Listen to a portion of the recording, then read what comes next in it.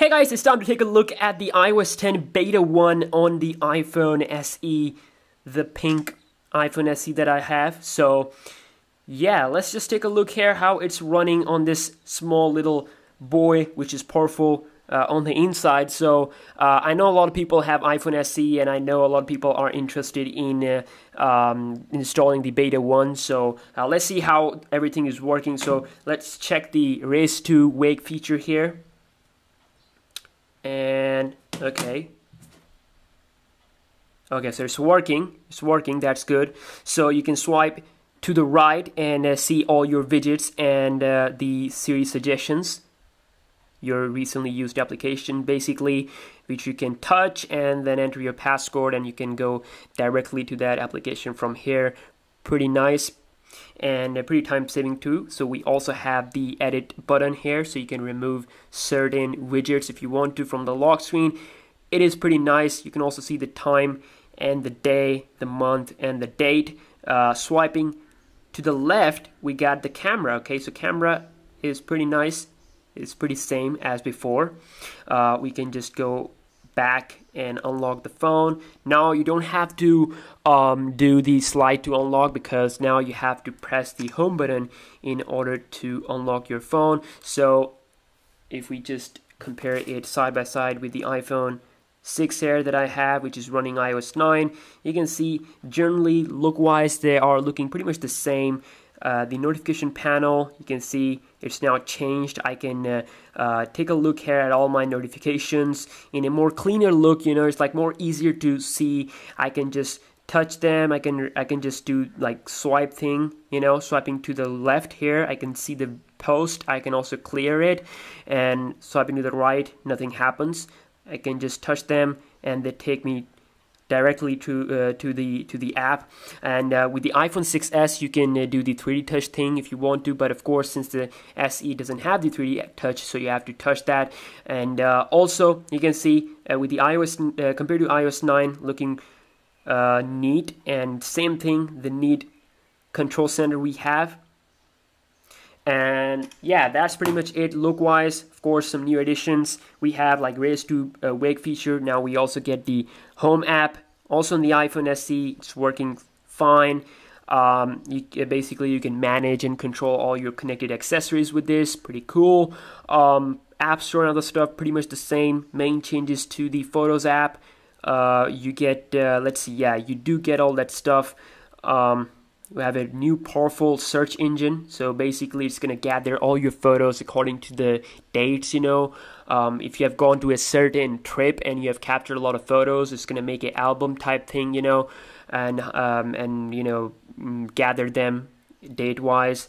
These are all my pictures I can see here. And I can go into memories, which is a new addition.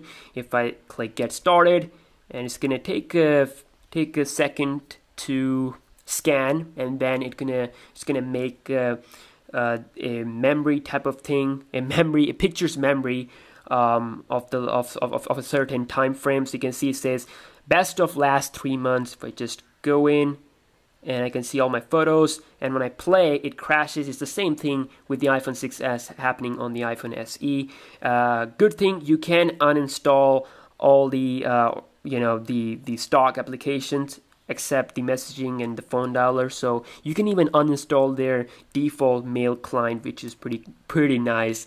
Uh, but I mean I mean to say the mail client is pretty nice so I don't know why someone want to uninstall that. So you can see I'm just gonna remove it. So you do have a little bit of bugs here and there because of course it's a beta 1 so you can't expect that much of uh, things out of it.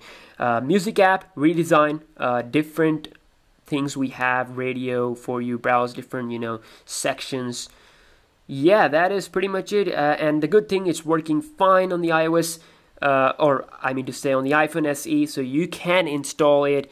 Uh, it's uh, it's beta 1 few bugs. Of course if you are a crybaby then don't install. I don't encourage you but if you install it you're definitely going to enjoy the new look here. And same thing here if you swipe to the right below the search bar you, got all your widgets just like you have this access on the lock screen. And this is how the phone dialer looks like. Pretty neat. Uh, I don't think we have any change there except now it can um, spam some number you know uh, some unknown numbers automatically uh, if they are spamming you so that's pretty cool. Uh, we can go into settings and uh, take a look here. Uh, if we check out the display and brightness you can see raise to wake feature is there. You can turn it off if you want to. Now the Siri uh, settings are now outside the general tab which is good. You can access that. Battery section is pretty much the same. You can also turn on the night mode you know directly from the uh, control center if you want to. And makes the screen a little bit yellowish you can just turn it off.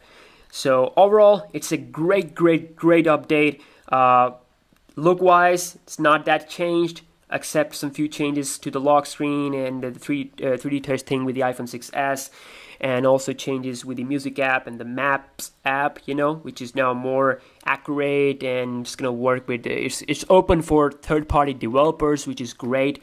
So um, we can just go into the messaging app and uh, basically I didn't show you the keyboard on my 6s video. Uh, so I'm just gonna show you guys the keyboard here which is a big big uh, update here for this keyboard you know with the iOS 10 uh, you get bigger emojis. Uh, let's see if we type something burger. You can see now it shows me the emoji of the burger and it's now you know looking bigger. And uh, you can like play videos directly in the messaging uh, app which is pretty cool. And like I said this app uh, the messaging app is also open for developers to work on pretty nice camera and also uh, we have this uh, sketch type of thing where you can draw some sketches. So I think this is some pretty pretty pretty badass stuff that Apple has done.